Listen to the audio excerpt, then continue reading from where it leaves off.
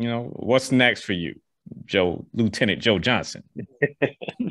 what's next for me is, you know, within probably the next um, next five, I'll say three to five years, I'll probably retire from the police department.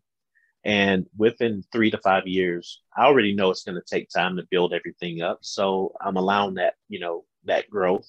So within the next three to five years, my plan is to have my channel built up enough to where I can, so I already have like maybe 10 different uh, categories in my um, channel to where like I'm doing drone work, I'm doing uh, daddy daughter stuff, I'm doing success stories. I'm doing the, all these different things.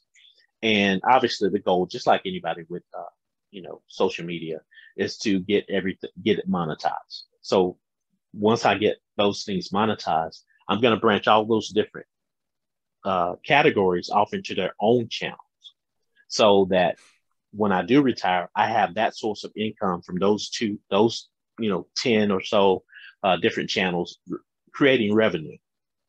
Outside of that, um, you know, with the traveling and doing the, the videos and all that with that, um, I'd like to um, pretty much relax because at the time, you know, I, I'll, I'll, be able to build, have it built up enough to where I, I can just travel and, you know, do what I want to do. Um, you know, obviously helping people at the same time, uh, pouring back into there, you know, doing that, you know, doing doing my part with that.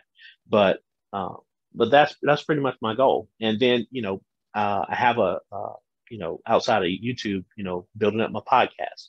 Uh, you know, just different things where I don't want to work for someone. I want to work for myself. You know, I've been working for someone, you know, for 25, 27 years.